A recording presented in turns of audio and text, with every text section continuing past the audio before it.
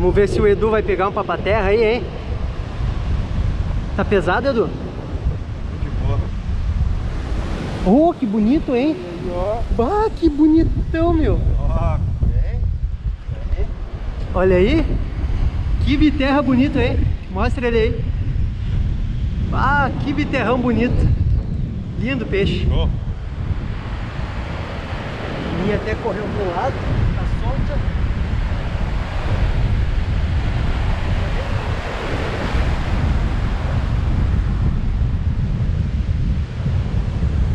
Pesado. Que marzão agitado, credo. Olha a série de onda vindo aí.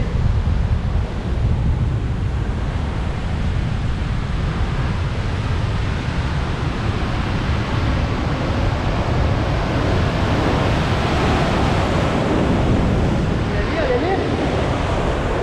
Olha aí quem veio. Um papa-terra e um papinho. Olha aí, papinhozinho. Do tamanho da palma da mão. Mas aqui já veio algum papaterrinha para alegrar, né? Papaterrinha bonito, mas só que aqui não dá. É muita série de onda estourando. Tá uma corrente forte. Então eu vou ali pro lado, soltar esse pampinho aqui. Deixa eu mandar ele aqui pra água. Vai lá, pampinho. E vou ali pra lateral, porque aqui no T não tem condições, não tem. E aí, turma, tudo certo com vocês? Então, eu tô falando abaixado aqui por causa do vento que tá forte. Situação hoje, pescaria num mar bem estranho. Até ontem esse mesmo mar estava ressacado.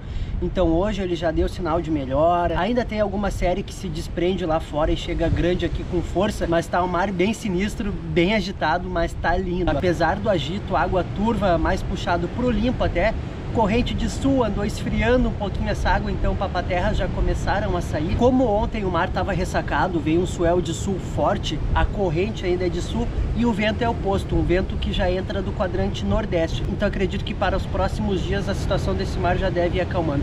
Eu gosto de pescar logo após ressaca, pegar esse mar bem mexido, agitado, bastante espuma. Eu acho que a atividade dos peixes dá uma certa aumentada e é de papaterra que a gente está atrás. Agora que a água começa a esfriar, né? Olha só como é que tá a condição aqui, vocês querem dar uma olhada? Ah, e antes disso já tem que deixar aquele like aqui no vídeo, né? Deixa aquele like, se inscreve aqui no canal. Pronto, deu like, se inscreveu, então vou mostrar a condição para vocês agora. Olha só, tá bonito demais. Mar bem mexido, bastante espuma, série de ondas fortes, vento ganhando força, mas tá incrível, tá bonito demais isso daqui. A corrente vem de lá, vem de sul, e o vento vem daqui, nordeste, vento oposto à corrente. A gente tá aqui para pescar, tá eu e um parceiro, o Eduardo tá lá. Eu até dei alguns arremessos aqui no T, mas a gente teve que voltar ali para aquela parte porque tá melhor ali de pescar. Aqui no T a corrente tá muito forte, a linha anda muito pro lado e eu não quero usar garateia aqui. O Eduardo até já tirou algum peixe lá, vamos conferir. Cadê teu peixe, Eduardo? Ah, tu pescou minha linha também, é? Desce ele aí, vamos resolver. Meu chapéu, o que que deu? Ixi. Olha aí que bonito teu peixe, hein? Teu papaterra. Tirei ele aí primeiro. Mas olha que nozaieira que ele fez aí, hein? Saiu recolhendo tudo quanto é linha. faz parte, faz parte. Vai lá, Edu. Tá com peixe aí? Vai. A linha correu, né? Correu. A minha também correu, já vou puxar na sequência. Aqui, ó. ó. Vai lá. Ô, papaterra bonito. Pesado. Baita papaterra. Veio um bagrinho filhote embaixo. Mostra aí o papaterra. Bonito, hein? Agora tu larga teu caniço aí e vem me filmar que eu acho que eu tô com peixe também. Minha linha correu bastante pro lado. Correu bem, hein? Olha ali, tá lá em cima minha linha. E tem peixe, hein? Olha ali quem vem, olha ali quem vem, já deu o sinal ali em cima da onda. Ô, dublê! Eita! Olha aí que dublezinho, hã? Olha só que tal. Deixa eu mostrar aqui, olha só. Papaterra já de tamanho padrão, hein? Olha aí os dois. Que dublezinho, hein? Assim que a gente gosta. E vamos aqui que a linha já tá tempo na água também, tá um pouquinho frouxa. O dublezinho que tal, hein?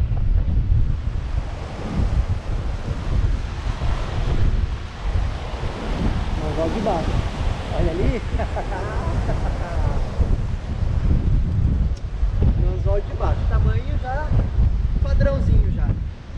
Ai, anzol de baixo, papaterra está aparecendo. Como tem uma corrente moderada do quadrante sul, geralmente quando algum peixe pega o anzol, começa a se mexer, faz mais volume na linha, a linha solta, a gente percebe que a linha fica solta, a gente não está vendo o caniço bater hoje, somente quando solta. E quando a linha está solta, tem que recolher logo para não acabar vindo aqui para baixo da plataforma e consequentemente arrebentar em alguma parte da estrutura, dos pilares que tem aqui.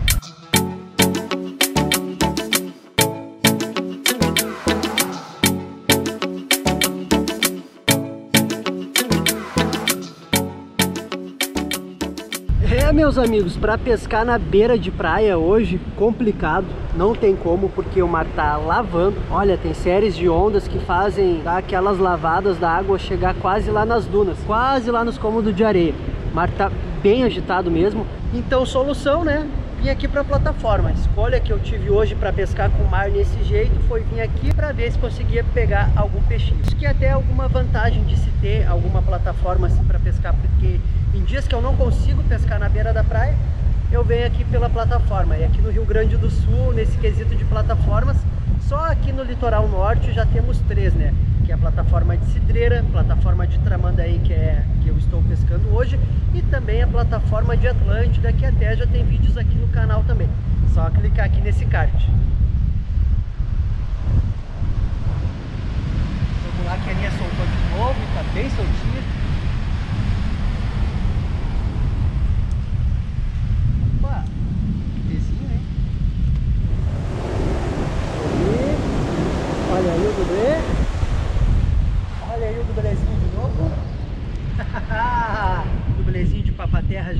Aparecendo aqui para alegrar nosso dia, nossa tarde. É aquilo que eu falei, né? Gosto de pescar logo após uma ressaca, porque deixa o mar bem mexido, bem agitado. Tá muito bonito isso daqui. E o peixe encostou. Tá aparecendo aí para terra. E a isca de hoje é aquela, né? Deixa eu ver aqui. Aqui tá os pacotinhos de minhoca, tá? Já no gelo. Tô utilizando a minhoquinha. Minhoquinha que tava congelada. Deixa eu pegar aqui dois pedaços. Esse pedacinho aqui vai dar duas iscas. Estou usando o anzol marocego 16, então vai dar duas iscas. E aqui também, dá mais duas. E aqui, nesse mar de hoje, eu estou utilizando o chicotinho aqui com rotor. Tá? A linha vai aqui por dentro. O anzolzinho é esse daqui, o marocego 16, um anzol um pouquinho maior até. Para pegar justamente aquele peixinho maior, né? Pirâmide chumbada oficial, essa daqui é uma pirâmide rebaixada com haste de 130 gramas, está parando muito bem nesse mar. E aqui no outro chicote tem aqui uma bico de pato de 130 gramas também, está dando conta, certo?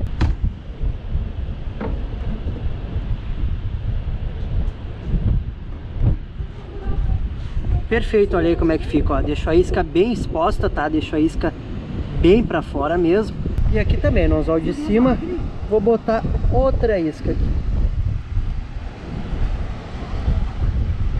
Subo um pouquinho aqui a minhoca para a pernada do anzol e olha só, fisga bem a amostra e vou fazer aquele arremesso agora para buscar os papaterras. E agora que já deixei tudo preparado, isquinha nova, é só mandar para água. Vamos lá.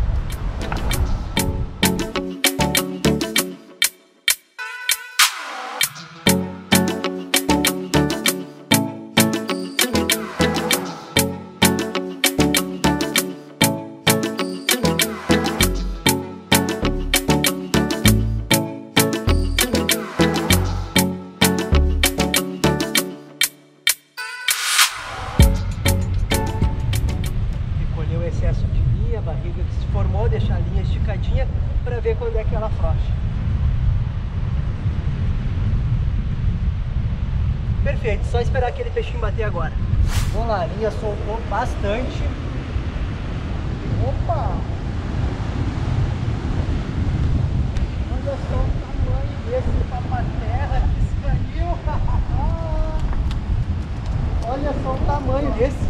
Olha que espetáculo. Agora sim, a linha afrouxou com tudo, sabia que o peixe era bom e até já caiu até. Que peixe bonito, hein? Baita peixe. E aqui embaixo vem um que parece um filhote perto, mas também de tamanho bom. Já já vamos medir aquele dali.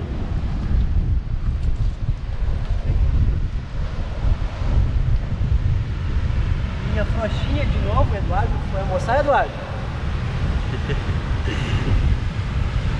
Pegou aí, pegou legal aqui. Até não sei se eu não tô trazendo minha outra linha. Eu acho que. Já chegou no arranjo, tá aqui embaixo, ó. Tem, tem peixe. Olha ali. Ah, é, peguei minha outra linha também. Nossa. Triplê. Olha aí, triplê de papaté. Triplê. Mas eu vou ter que recolher rápido aqui porque eu pesquei minha outra linha. Minha outra linha veio junto com aquela, então pra linha não ir pros pilares, vou recolher rápido aqui. Mas olha ali, pegar de 13, hein? Acontece. Mas olha aí, apesar do enrosco veio um, tá? Um, dois, três papatés. Agora é desfazer esse enrosco aqui. Uma soltada. Aqui eu botei aquela de sardinha, vamos ver.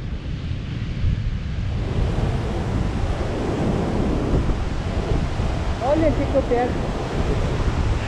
Olha que peixe que veio. Uma anchova. Uma anchovinha, olha aqui. Vou mostrar ela aqui melhor. Me cortou o anzol já.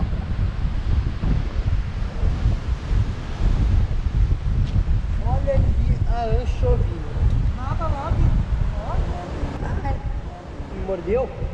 Me mordeu aqui agora. Vamos devolver essa daqui, vamos soltar ela. Vai lá, volta pra água. Ele voltou que foi um risco. É Não, essa. A outra também.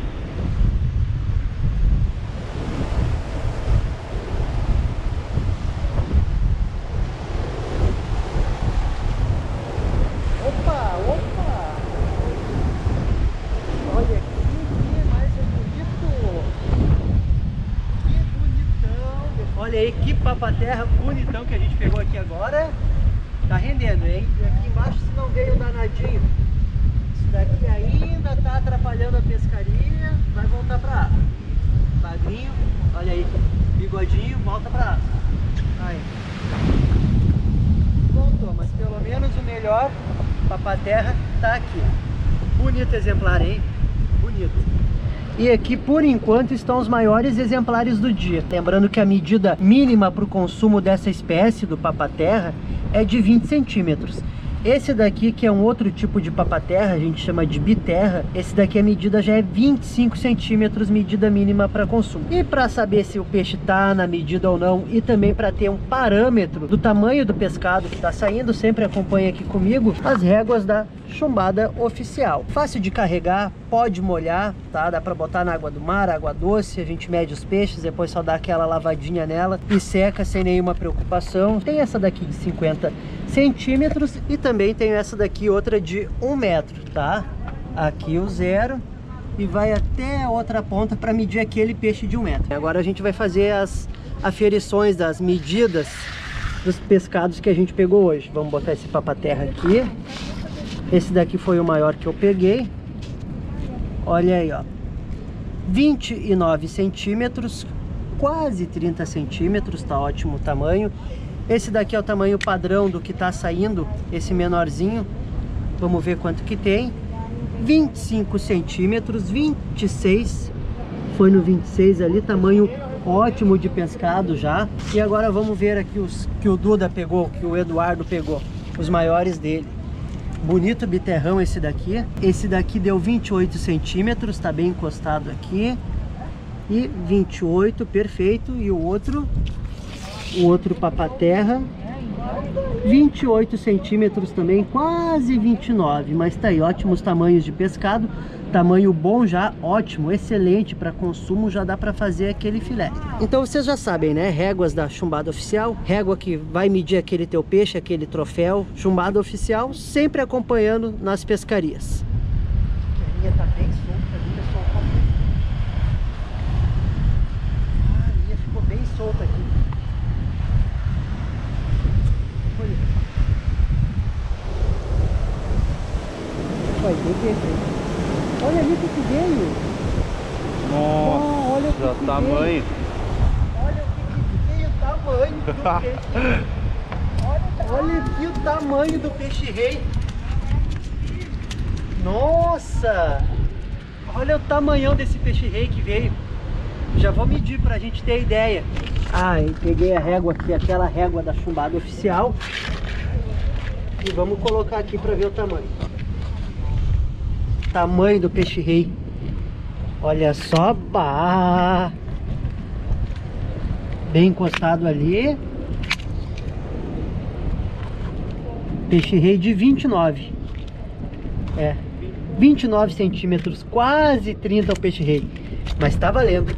Que exemplar bonitão de peixe-rei. Pá, vai dar aquele filé. é certo. Vamos lá, a linha tá bem soltinha, tá frouxa essa linha. Linha bem solta mesmo. Tá pra terra, ali na água, bonito. O dublezão. Ah, dublezão. Boa. Deixa eu trazer pra cima. Oh, que dublê. Olha que dublezão, hein? Agora sim, dublê de respeito, hein? Olha aqui o tamanho. Deixa eu pegar esse de baixo aqui. Esse daqui já é bonito, tá?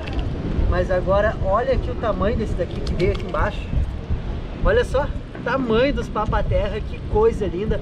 Já vou medir esse daqui também. Esse daqui é tamanho padrão, mas esse daqui já, já quero medir. Agora sim, dublê de respeito, soltou a linha com tudo. Que coisa linda essa pescaria hoje. Hoje tá bonito, hoje tá bonito mesmo. Vamos lá, medir esses aqui. Vamos botar na régua. Deixa eu mandar aqui. 30 centímetros. Aham, peguei, olha, dá 31, ele tá ali no 31, tá bonito, vamos ver só esse daqui para comparar. Esse daqui vai dar 25, quer ver?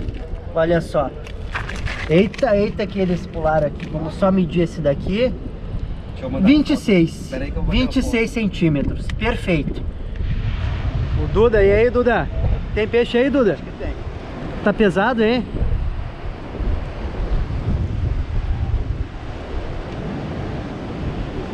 Pesado aí, Duda? Pesou. Olha que vai vir peixe. Ó, tá bonita a puxada, tá correndo pro lado, hein? Tá por cima aqui, Duda, tá, tá por cima. Vai, vai, vai, que eu já vi que tem papaté. Aí, já vi que tem papaterra ali.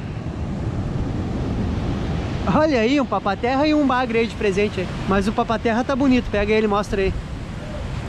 Aham, o papaterra tá bonito. Linha solta, últimas recolhidas do dia. Chegou perto. A água do mar tá espetacular essa água do mar. Olha ali, Ah, olha ali, o que que vem? Pra finalizar, hein? Olha ali.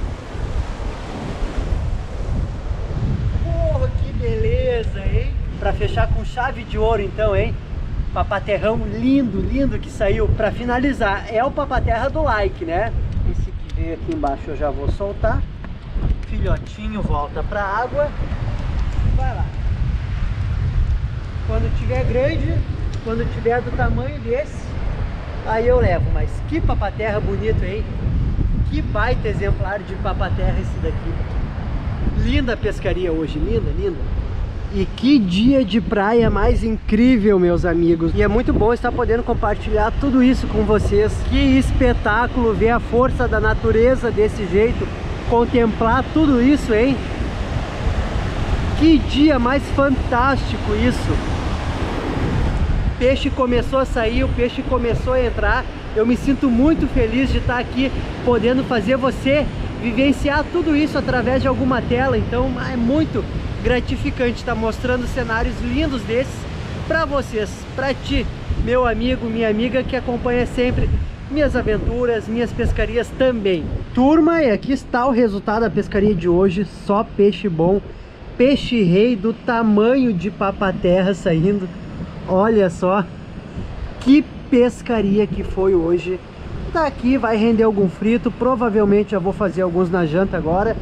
Aqui tá os peixes que o parceiro Eduardo pescou também, Duda fez a companhia e hoje presença, hein? Olha só, saiu peixe, saiu papaterra.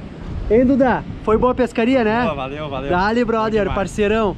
Valeu? Ah, e a pescaria hoje foi bonita, hein? E agora a gente vai fazer aquela feição, pegar a faquinha, filetar tudo. Compartilhe esse vídeo com algum amigo que gosta de pescaria. Loja oficial do canal raitonpesca.com.br tá aparecendo aqui. Só aquele material que eu indico, anzol, chumbada, caniço, mulinete. Então confere lá. Você comprando alguma coisa na Raiton Pesca já ajuda o canal. Então vou fazer aquele filezinho. Obrigado por aquela presença de sempre de vocês aqui. Espero que vocês tenham pescado aqui junto comigo. Espero que vocês tenham gostado das imagens que eu trouxe para vocês. Certo? Muito obrigado e até breves pescarias. Valeu, turma!